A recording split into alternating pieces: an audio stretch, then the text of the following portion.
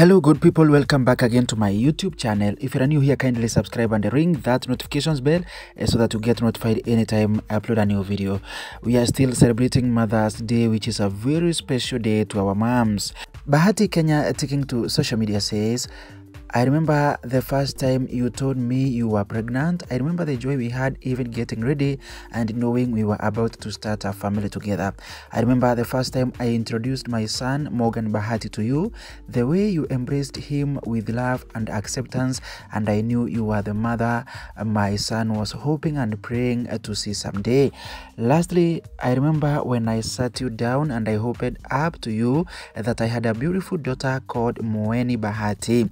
I remember it was not easy, but you made up your heart and mind to co-parent with her mom to bring up this princess in the most peaceful environment event. Kudos.